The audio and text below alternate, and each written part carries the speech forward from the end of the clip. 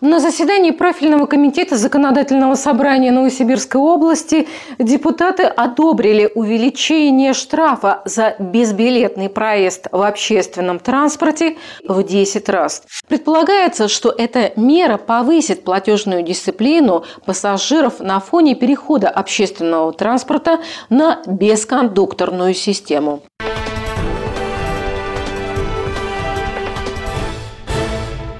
17 мая депутаты регионального заксобрания обсудили инициативу мэрии Новосибирска увеличить штрафы для зайцев в общественном транспорте. Заместитель председателя городского совета депутатов Антон Тартышный рассказал, какие именно предлагаются поправки в областной закон об административных правонарушениях. Проектом закона предлагается внести изменения в статью 10.1. Часть первую предлагается внести увеличение размера штрафа со 100 до 1000 рублей за безбилетный проезд в городском и пригородном автомобильном транспорте, трамвае, троллейбусе, маршрутном такси и проход без оплаты на станцию метрополитена.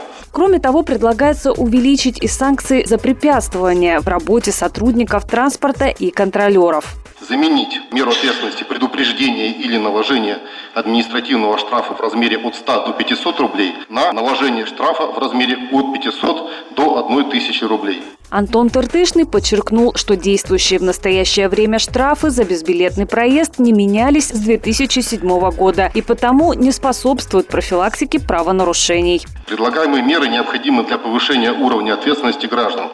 Для нас это важно в связи с поэтапным переходом города Новосибирска на бескондукторную оплату, которая предусмотрена значительной частью вновь заключаемых муниципальных контрактов на перевозку пассажиров.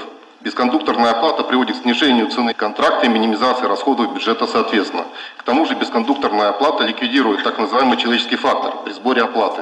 Считается, что ощутимый штраф как раз и поможет мотивировать пассажиров самостоятельно приобретать билеты в автобусах, троллейбусах и трамваях. Ловить зайцев планируется в ходе совместных рейдов с полицией. По 99 закону э, право составлять протоколы имеют в основном э, установленные должностные лица. Это либо орган муниципалитета, либо органы субъекта власти. И, например, при работе по нарушению правил торговли часто привлекаются сотрудники полиции. Здесь точно так же, когда будут проводиться рейды, документы. Совместно с контролером будут сотрудники полиции, которые имеют право требовать документы, и на основании этих документов уже будет составляться протокол и привлекаться лицо к административной ответственности. Напомним, что в конце апреля депутаты Горсовета Новосибирска единогласно поддержали инициативу о повышении штрафов за безбилетный проезд в общественном транспорте. Ее главной целью назвали повышение платежной дисциплины пассажиров. Окончательное же решение об изменении размера санкций за отсутствие билета должны принять депутаты Заксобрания региона на очередной сессии.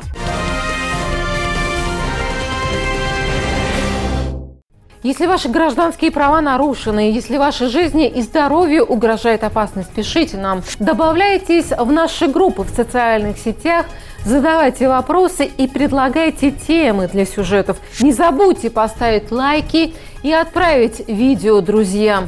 Возможно, именно сейчас им требуется помощь прецедента.